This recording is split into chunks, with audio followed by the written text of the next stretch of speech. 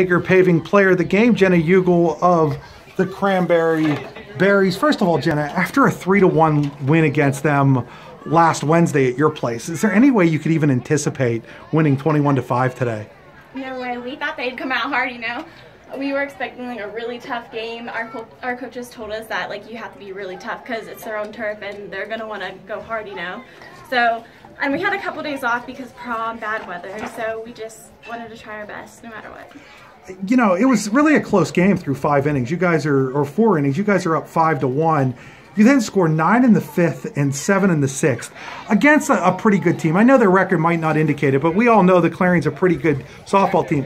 You can't ever anticipate batting around twice in, in two innings like that. What was going right for the offense? Oh my gosh. Um, well, honestly, I think all of us were hitting the ball very well. We got lucky with some. We were hitting some gap shots. Um, we just didn't give up.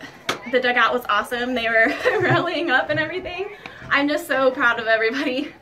Um, I want to talk a little bit about your game. You were three for four, uh, four RBIs, three runs scored. You had the triple, and then I scored it in air. You might score a home run. It doesn't really matter. It, all the way around. Just talk about first of all being able to just score on a play like that with the bases loaded and driving everybody in.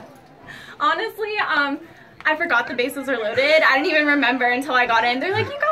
I'm like, "Oh my gosh, really?" Um, yeah, um, new pitcher. I just had to focus on the pitcher. Um, focus on the ball, swing, solid contact, and run my heart out.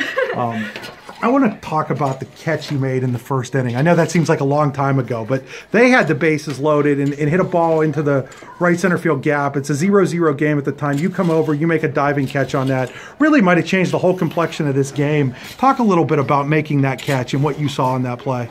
Well, it was hit off the bat, and I'm like, well, I'm gonna have to go for it because you know if I miss it they're gonna get some runs. So I just had to go for it. I might have closed my eyes a little bit. I'm just like well we're gonna see how this goes and I just dived for it. Well you, you made the catch and then you had a great day at the plate as uh, did all your teammates. Congratulations on the win Jenna and uh, good luck the rest of the season. Thank you.